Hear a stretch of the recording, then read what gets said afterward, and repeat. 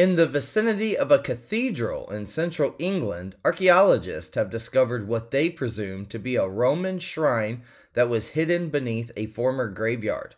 On Tuesday, researchers from the University of Leicester reported discovering what they believe to be the basement of a Roman edifice and a fragment of an 1,800 year old altar stone while conducting excavations on the premises of Leicester Cathedral, the Associated Press reported. Quote, There's always been this folk tale that there was a Roman temple underneath the cathedral, said Mathew Morris, excavation director for the University of Leicester's Archaeological Services.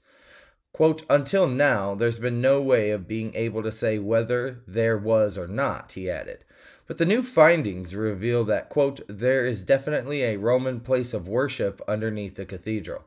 According to Morris and his team, the underground cellar, which is approximately 10 feet deep, dates back to the second century, and furthermore, numerous Roman coins and pieces of pottery were discovered on the premises as part of a multi million pound or multi million dollar initiative to refurbish Leicester Cathedral, which is believed to have been erected in the 11th century, the excavation was conducted.